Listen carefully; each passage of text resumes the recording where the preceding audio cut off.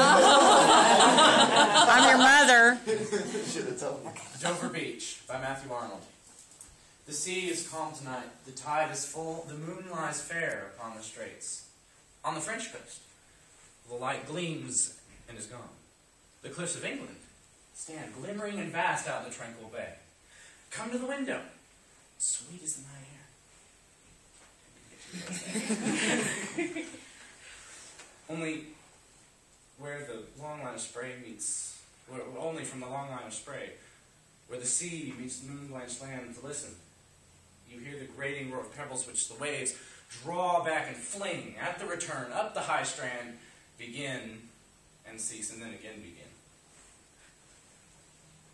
With tremulous cadence slow, and bring the eternal note of sadness. Sophocles heard it long ago on the Aegean, and it brought into his mind the turbid ebb and flow of human misery. We find also in the sound a thought, hearing it by this distant northern shore. The sea of faith was once too at the full, and uh, round earth's shores lay like the folds of a bright girdle furled. But now I only hear its long, melancholy withdrawing roar. Retreating to the breath of the night wind,